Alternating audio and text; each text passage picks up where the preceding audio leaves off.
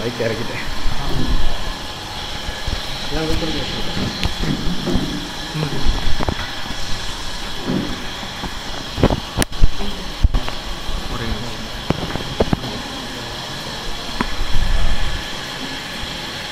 எல்லோருக்கும் தோழமைகள் எல்லாருக்கும் இந்த மாலை வணக்கங்களை தெரிவிச்சுக்கிறேன். அஹ் வாசக கூட்டத்தில் பங்கேற்பது மிகவும் மகிழ்ச்சியான ஒரு அனுபவம். இப்படி ஒரு அரங்கு நிறைந்த கூட்டத்தை அதுவும் நங்கநல்லூர் பகுதியில் சாத்தியப்படுத்துவது மிக சவாலான ஒன்று. அதை சாத்தியப்படுத்திருக்கிற வாசகசாலை நண்பர்களுக்கு என்னுடைய பாராட்டுகளையும் தெரிவிச்சுக்கிறேன். வளனுடைய காபி சூனியக்காரி என்ற தொகுப்பு நேற்று எனக்கு மென் வடிவத்தில் அனுப்பினார் வாசகசாலை நண்பர். அந்த வாசிப்பு வந்து ரொம்ப ஒரு உற்சாகமான அனுபவத்தை எனக்கு கொடுத்தது. இன்றைக்கு தமிழ் என்ற இந்த ஒரு நிலம் இந்த பௌதிக நிலத்தை கடந்து தமிழ் எழுத்து என்பது ஒரு சர்வதேச தன்மையில் இயங்குகிறது ஒரு உலகத் தன்மையில் இயங்குகிறது.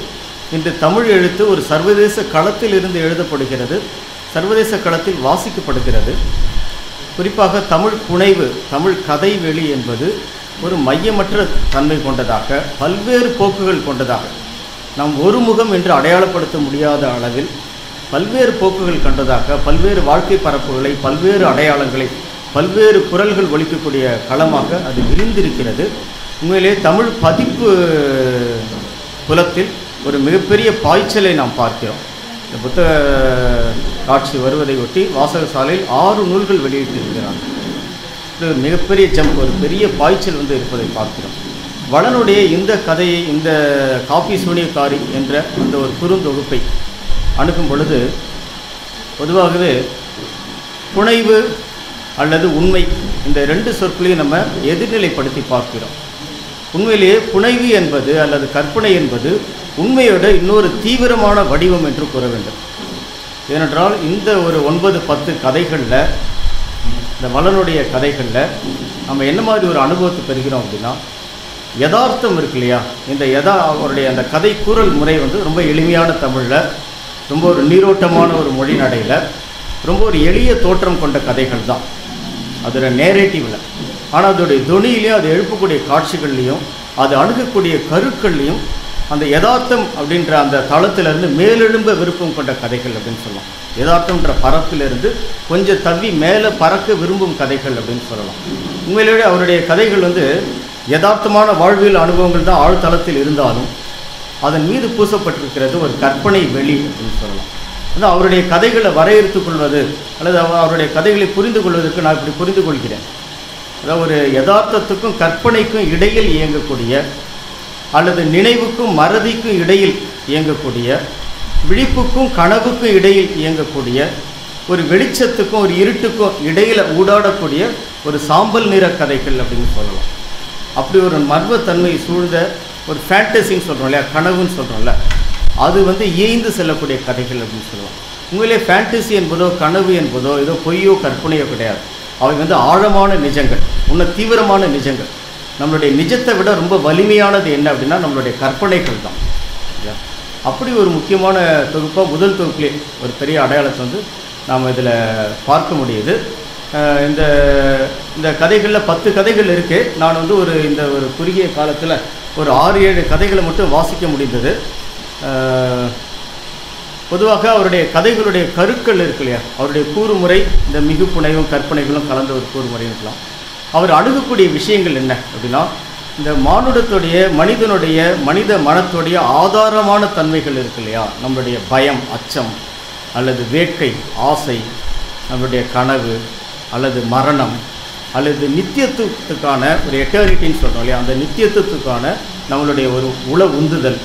இது மாதிரியான வாழ்க்கையுடைய அடித்தள இயல்புகள் இருக்குது பாருங்க. அதில் தான் அவருடைய கதைகள் வந்து நிலை கொண்டிருக்கு அப்படின்னு சொல்ல முடியும்.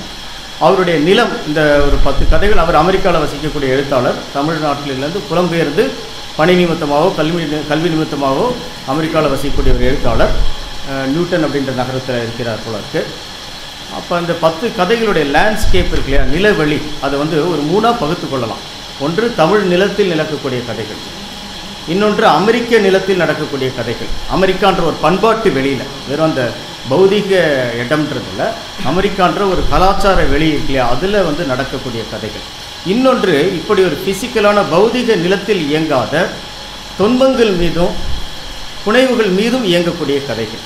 உதாரணத்திற்கு ஒரு வெர்ச்சுவல் அதாவது இப்போ ஆதாம் கண்ட கனவுன்னு ஒரு கதை எழுதுகிறார் ஆதாம் ஆதாம் வந்து கடவுளால் படைக்கப்படுகிறார். ஆதாம் எல்லாத்துக்கும் பேர் வைக்கிறார்.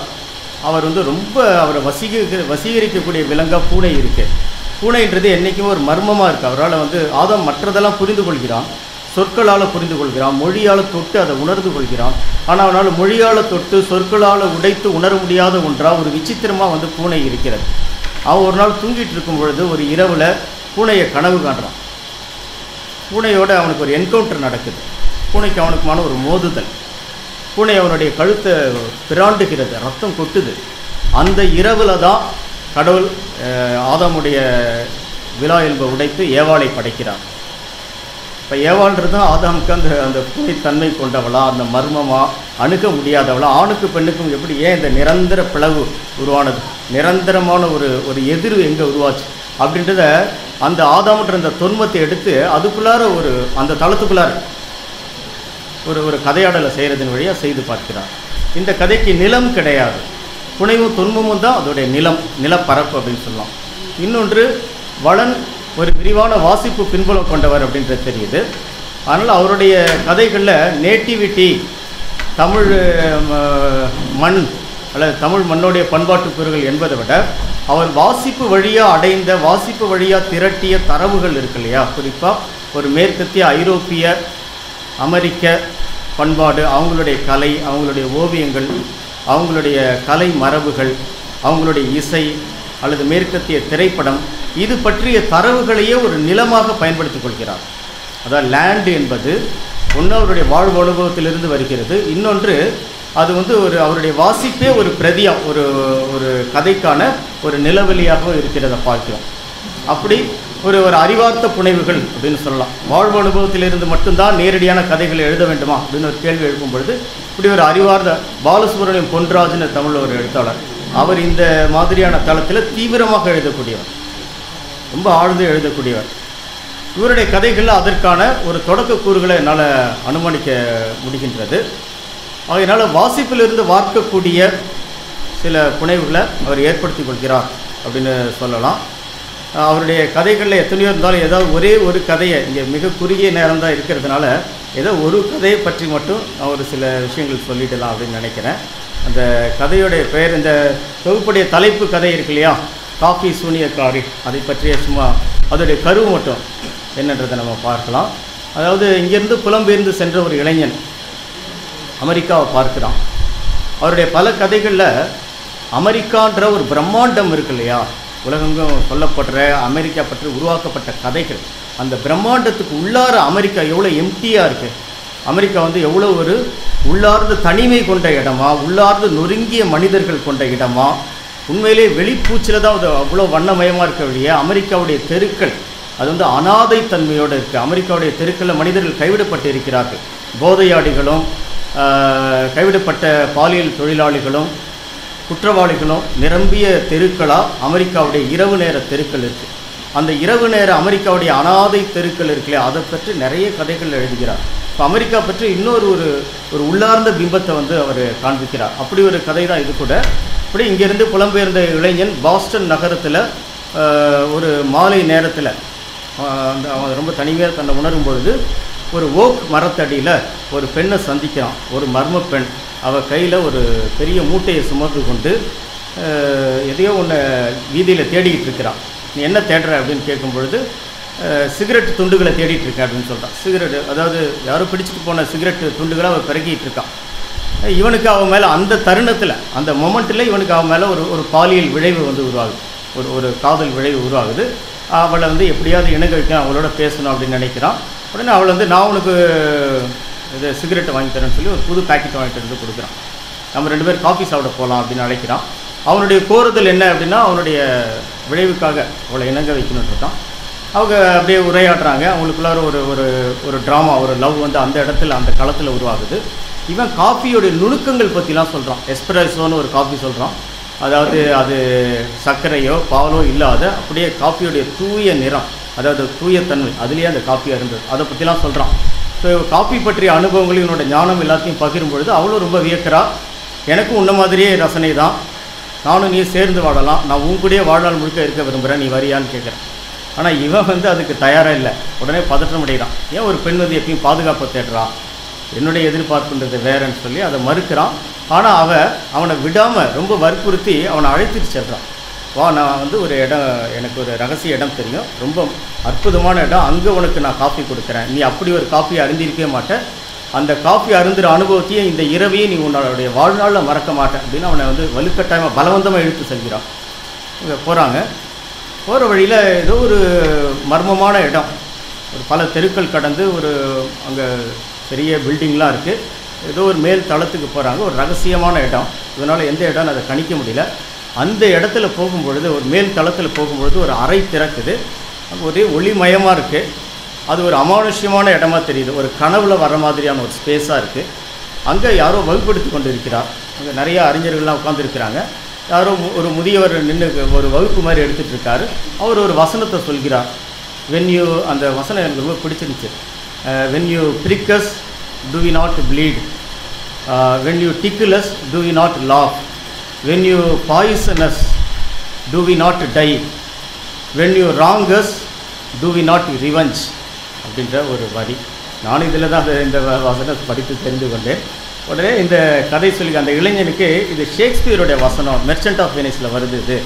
இது ஷேக்ஸ்பியர் சொன்ன வசனமாச்சே அப்படின்னு ஆச்சரியமாக கேட்குறான் பார்த்தா அந்த வசனத்தை சொல்லிட்டு இருக்கிற ஷேக்ஸ்பியர் தான். முன்னாடி சபையில் ஒருத்தர் உட்காந்துருக்காரு அவர் சொல்கிறார் ஹீஸ் ஷேக்ஸ்பியர். இவர் தான் அந்த ஷேக்ஸ்பியர் அப்படின்றார். ரொம்ப ஆச்சரியப்பட்டு இவர் யார்? அப்படின்னு பார்த்தா அந்த மாணவர் அமர்ந்திருக்கிறவர் ஒரு நீண்ட ரொம்ப அடர்ந்த தாடியோட அமர்ந்திருக்கிறார். அந்த உருவம் யாருதுன்னு பார்த்தா கார்ல் மார்க்ஸ்.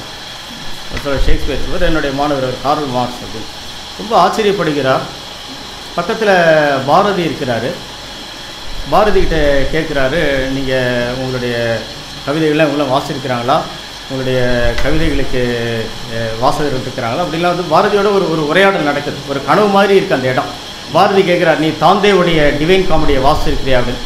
இந்த இளைஞன் வாசிச்சதில்லை நான் விரைவில் வாசிக்கிறேன் அப்படின்னு சொல்கிறான் அந்த பெண் இருக்காளே அவளும் அங்கே தான் இருக்கா. அவள் தானே கூட்டிகிட்டு வந்திருக்கா. அந்த பெண்ணை மார்க்ஸ் வந்து இங்கே வா ஜெனி அப்படின்னு கூப்பிட்றாரு. அந்த பெண்கிட்ட யாரோ ஒரு இன்னொரு ஒரு அறிஞர். அவர் கையில் ஒரு புத்தகத்தை கொடுத்து இந்த புத்தகத்தை நீ வாசின்னு சொல்லி அந்த புத்தகத்தை பற்றி சொல்லிட்டு இருக்காரு. அந்த புத்தகம் என்னென்னா மேட்னஸ் அண்ட் சிவிலைசேஷன்ற புத்தகம். ரொம்ப ஆச்சரியமாக இருக்குது அந்த புத்தகத்தை எழுதியவர் யாருன்னா பூக்கோ இல்லையா? இவங்க எல்லாம் சரித்திரத்தில் வெவ்வேறு காலகட்டங்களில் வாழ்ந்த மனிதர்கள். வெவ்வேறு காலகட்டங்களில் வெவ்வேறு தேசங்களில் வெவ்வேறு மொழியைச் சேர்ந்த ஆனால் மானுடத்துக்கு பெரிய பெரும் ஞானத்தை வந்து கையளித்த கலை இலக்கியங்களை வந்து கையளித்த மாபெரும் சரித்திர நாயகர்கள். அவங்க எல்லாரும் அந்த சபையில் வந்து இருக்காங்க. எனக்கு பெரிய ஆச்சரியம். பாரதி சொல்கிறாரு இன்னைக்கு மாலையில் மொசாச்சும் பீத்தோவும் இங்கே வராங்க. அவங்க என்னுடைய பாடல்களுக்கு இசையமைக்க போகிறாங்க இன்றைக்கி மா மாலையில் அந்த இசை நிகழ்ச்சி இருக்குது அப்படின்னு சொல்கிறோம் ரொம்ப ஆச்சரியம். அப்போ மார்க்ஸ் சொல்கிறாரு இந்த பெண் இருக்கா இல்லையா? பேர் எனக்கு மறந்துடுச்சு அது ஷான்லின் அந்த கதாபாத்திரத்துக்கு பேர். ஷான்லி இருக்கா இல்லையா? அவன் உனக்கு ஒரு தேநீர் கொடுப்பான் அது ஒரு ஒரு காஃபி கொடுப்பான் அந்த காஃபிக்காக தான் நீ வந்து அந்த காஃபியை குடித்தனா இந்த உலகத்தை விட்டு நீ வெளியேற முடியாது. இந்த உலகத்துடைய ஒரு நிரந்தர பிரஜையாக நீ மாறிடுவேன் அப்படின்னு சொல்கிறான் இவங்க ரொம்ப பதற்றம் ஒரு ஆடு கொடுக்குற காப்பியாக இருந்தனா இந்த உலகத்தில் நிரந்தர பிரஜையை மாறிட்டா என்ன பண்ணுறது எப்படி தப்பிக்கிறது இந்த இந்த மர்ம மாய உலகத்துலேருந்து எப்படி தப்பிக்கிறது? அவன் வந்து மறுக்கிறான் முடியாதுன்னு மறுக்கிறான் பதற்றம் அடைகிறான். ஆனால் இவன் விடமாட்டான் அந்த காப்பிக்காக தானே வந்து அவன் அவனோட அந்த நட்பு ஏற்பட்டுச்சு இல்லையா? ஆனால் ரொம்ப வற்புறுத்துறான். அவன் ஒரு கட்டத்தில் மறுத்த உடனே அவனை தாக்க ஆரம்பிக்கிறான். அவனுடைய கழுத்தை நெரிக்கிறான். பலவந்தமாக அவனை பிடித்து இழுத்துனது நான் கொடுக்குற காப்பியை நீ அருந்த மாட்டேன் இல்லையா? இந்த இரவை நீ மறக்கவே மாட்டேன்னு சொல்லி அந்த மேல் தளத்துலேருந்து அவனை தூக்கி எறிகிறா வெளியில். அப்புறம் மயக்கம் தெளிந்து அவன் பார்க்கும் பொழுது அதே ஓக்கு மரத்தடியில் படுத்து கிடக்குறான். காயங்களோட கழுத்தில் நகைக்குறியோட மிகவும் சோர்ந்து போய் அப்படியே படுத்து கிடக்குறான். அவனுக்கு என்ன நடந்தது அப்படின்னே தெரியல. எழுந்து ஓட பார்க்குறான். இருண்டு விட்டது. அப்புறம் அவன் நினைத்து கொள்கிறான் இன்னமும் சூனியக்காரிகள் இந்த உலகத்தை விட்டு போகலை. பதினேழாம் நூற்றாண்டில் சூனியக்காரிகள்லாம் வேட்டையாடப்பட்டதாக சொல்லப்படும் இங்கிலாந்து அந்த வேட்டையாடப்பட்ட சூனியக்காரில் யாரோ ஒருத்தர் தப்பிச்சிட்டா. அவள் தான் அந்த காஃபி சூனியக்காரி. இந்த காஃபி விச் வந்து இன்னும் வந்து நம்மளை இப்படி ஒரு மர்மத்துக்குள்ளார கொண்டு போயிட்டாலேன்னு சொல்லி இன்னமும் அவள் எங்கேயோ அமெரிக்காவுடைய ஏதோ ஒரு தெருவில் தான் அதாவது இந்த துண்டு சிகரெட்டுகளை பொறுக்கிட்டு இருக்கா இளைஞர்களே எச்சரிக்கையாக இருங்க அப்படின்னு சொல்லி அந்த கதை முடியுது. இது மாதிரியான ஃபேண்டசி தன்மை கொண்ட கதைகளை எழுதியிருக்கிறாரு. இந்த கதை என்ன ஒரு ஒரு கதையை நம்ம அர்த்தப்படுத்துறதுன்றது ரொம்ப சவாலான ஒன்று தான் ஆனால் நான் இந்த கதையை எப்படி புரிந்து கொண்டேன் அப்படின்னா அல்லது எப்படி அணுகினேன் அப்படின்னா இதில் வர அந்த சூனியக்காரி யார்? இதுனா கலை இலக்கியங்கள் இருக்குல்ல ஆர்ட் இருக்குல்ல படைப்பு இருக்குல்ல அந்த படைப்புடைய பெண் உருவம் தான் அந்த சூனியக்காரி அப்படின்னு நான் எடுத்துக்கிறேன். அதான் சூனியக்காரி. அவர் எட்டர்னிட்டிக்கு அழைத்து செல்கிறார் இல்லையா? இந்த கலைஞர்களெல்லாம் காலம் தாண்டி இருக்கக்கூடியவர்கள் இல்லை. அந்த மர்ம உலகம் இருக்குல்ல எல்லாரையும் அவன் பார்க்குறான்ல எல்லா கேரக்டர்ஸையும் அந்த எட்டர்னிட்டிக்கு அவன் அவள் அழைத்து செல்கிறாள் இல்லையா? அந்த எட்டர்னிட்டியில் நிரந்தரமாக இருக்க முடியாது. அந்த காப்பியாக கலை என்ற ஆர்ட் என்ற அந்த ஒரு கோப்பையை அருந்தியவர்கள் அந்த எட்டர்னிட்டியோட பகுதியாக மாறிவிடுகிறார் அது முடியாது. அவன் தப்பிச்சு ஓடி வந்துடலாம். ஆனால் ஒரு கணம் அவனை தொட்டதற்கே அந்த காஃபி சூனியக்காரி இருக்காளே அவள் தான் ஆற்றுடைய தேவதை வடிவம். அவளை ஒரு கணம் தொட்டதற்கே அவனுடைய வாழ்க்கையில் இவ்வளோ பெரிய ஒரு டிஸ்டர்பன்ஸ் இவ்வளோ பெரிய ஒரு அதிர்வு. அப்போ தொடர்ந்து படைப்பு வெளிக்குள்ளார வாசகனா படைப்பாளியாக இயங்கிக் கொண்டிருக்கிறவர்கள் அந்த கலைன்ற மர்ம தேசத்துக்குள்ள மர்ம மாளிகைக்குள்ளார என்ன நடக்கும் அப்படின்றத இந்த கதை வந்து ஏதோ ஒரு விதத்தில் அப்படி திறந்து பார்த்து இது போன்ற பல்வேறு கதைகள் ஒரு பத்து கதைகள் ஒவ்வொரு கதைக்குள்ளாரையும் ஒரு ஆழமான ஒரு தத்துவத்தன்மை வந்து இருக்கிறத நம்ம பார்க்கலாம். ஹியூமனிட்டியோட ரொம்ப பேசிக் எலிமெண்ட்ஸாக இருக்கிற பயம் கோஸ்ட் மாதிரியான கதைகளும் எழுதியிருக்கிறார். ரொம்ப மிஸ்டிக்கான ஸ்டோரிஸ்லாம் வேட்கை காமம் பாலியல் கனவு இது மாதிரியான கடவுளை பற்றி அல்லது நித்தியத்தன்மை பற்றி எட்டர்னிட்டி பற்றி ஒவ்வொரு கதைகளையும் வருது.